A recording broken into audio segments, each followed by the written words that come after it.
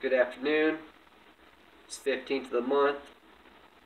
It's time to uh, get your dog's heartworm. I'm going to show you how we do it here. This was taught to us by some friends and uh, it saves you a lot of money. You can do, I've got six dogs here and what it would cost to do six dogs, you can actually do six dogs for a whole year after doing some of the research and talking to some of the folks show you what we're talking about here. Stuff is called Ivermectin. It comes in a black box with a bowl on it. You can get it at your local farm tractor supply company type store, farm and fleet.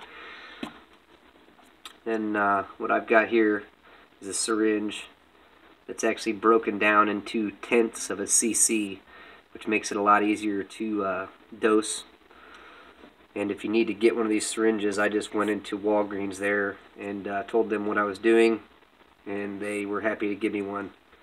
So, as you can see, I don't know if it'll actually show that or not. No, probably not.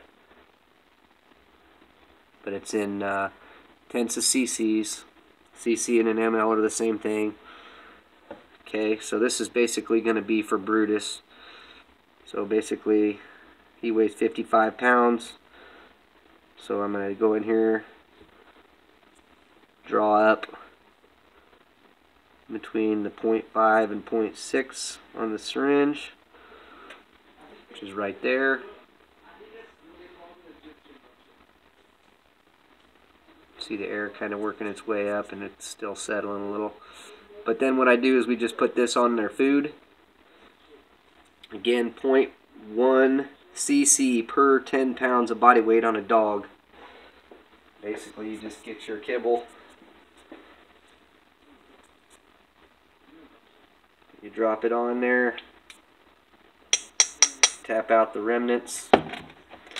And then his is done. Give him his food. I'm going to go ahead and get the rest of the dogs also but I figured I'd just give you guys this video as a reminder that it is the 15th of the month and it's time for Heartwormer. Um, probably get you guys for uh, video on the worming with the fenbendazole wormer next. Thanks.